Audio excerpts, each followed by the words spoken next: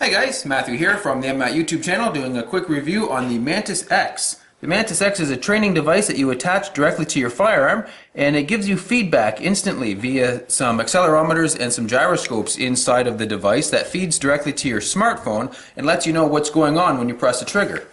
So it comes with an app that's available free online for both Apple and Android and the way it works is you simply attach the device to your gun, put your gun somewhere still, and then hit connect.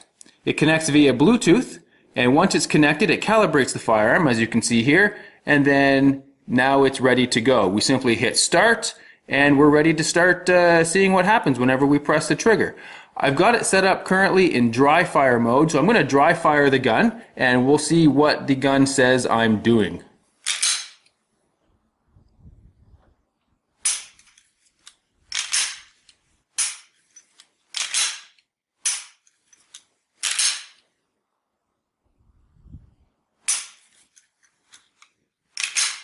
So there you can see some of my scores, not trying terribly hard, although on that last one I certainly did, and you can see I was rewarded with almost 95.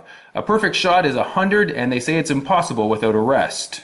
So the app has several settings allowing you to choose the firearm that you're using the device on, whether it's a pistol or a rifle, and if it's a pistol or a rifle, what kind, if it's an AR, if it's a Glock, if it's, uh, you know, an M&P 9, whatever. It'll basically work on any gun with a rail, but if the firearm that you have isn't in the list, uh, you can just simply pick the one that's the closest and it will probably work just fine. You pick right-handed or left-handed shooter, and then you can pick if you're using live fire, dry fire, or CO2. And that's good for people who have those CO2 simulators, also for airsoft. It works with that as well. And then you can uh, calibrate whether the device is forward, backwards, on the bottom of your gun, the top of your gun, the left of your gun, the right of your gun. And then there's a bullseye mode, which is on or off as well, which is for people who shoot bullseye. I don't shoot bullseye, so that's turned off. So the device gives you a graph that you can track what's going on. The green is right before you press the trigger, the yellow is right as you're pressing the trigger, and the red is what happened after you press the trigger. So as you can see, some of my shots are better than others the tighter that that cluster of dots is, typically the better your shot. So there I got a 91 on that one. There's one with an 89. You can see it's a little bit bigger. There's a 93, a little bit tighter still. So let's set this up for some live fire training and see how I do.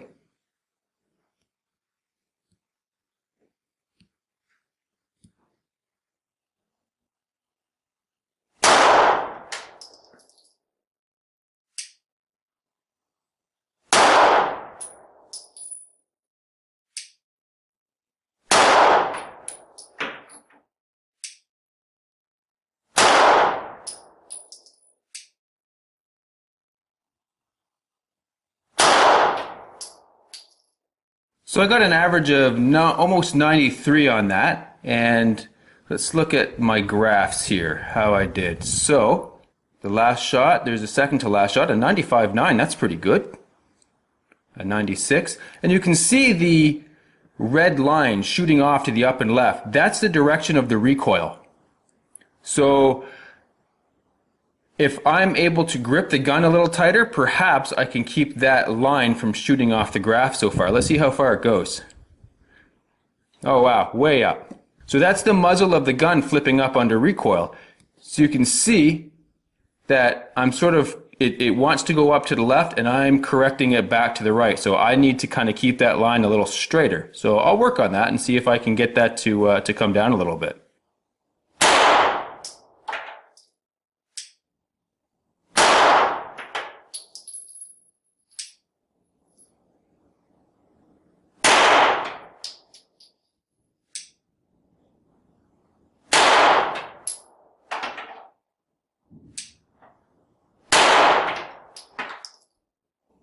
So on this string, I got a 91,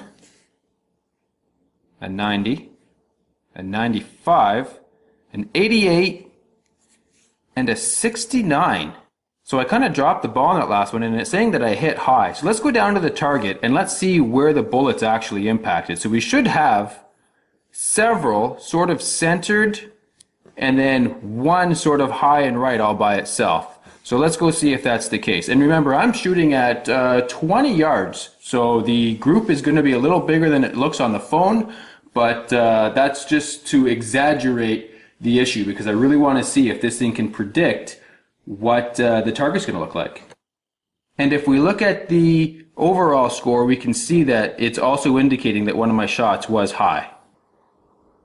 So it's not exactly perfect. We've got one low right, and then we have one sort of high left, and then we have three sort of in the bull.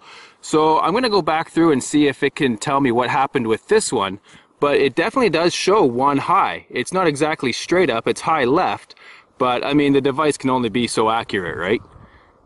Otherwise though, that looks like a, you know, a fairly good representation of what I was doing.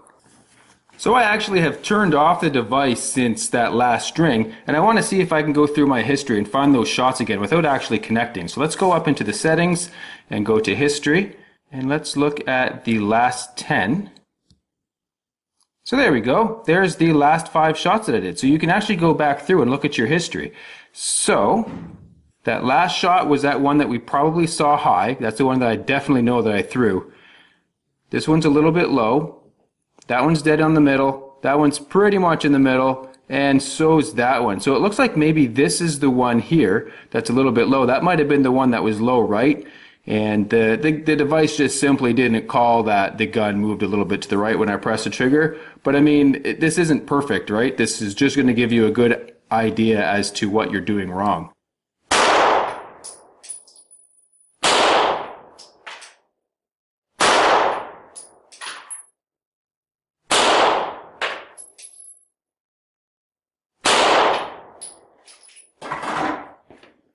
Ah, looks like I didn't pick one of them up. I want an average out of five, so I'll try one more.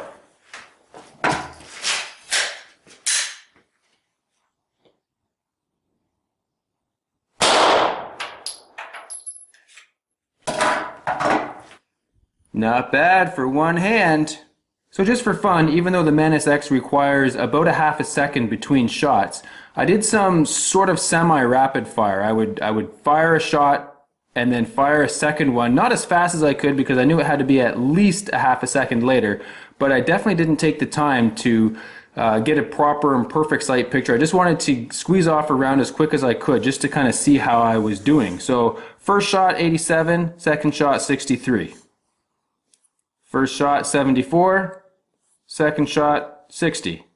First shot 85, second shot 60. So this, even though I can't go at full speed, it's still going to be able to help me get more accurate hits on my second shots whenever I'm out uh, shooting IPSC. So overall, I'm quite pleased with this. It works really well. It sort of helps diagnose what you're doing wrong. I'm a bit of an advanced shooter. I didn't really need it to tell me what I was doing wrong because I know what I'm doing wrong when I'm doing it wrong. But this would really help somebody who's new into shooting to help them improve a little bit more quickly than they would if they were just shooting on their own because the device does sort of give you your instant feedback. And as an experienced shooter, I really like the device because it encourages me to dry fire more at home because it's, it's like a game. How high can I get my score?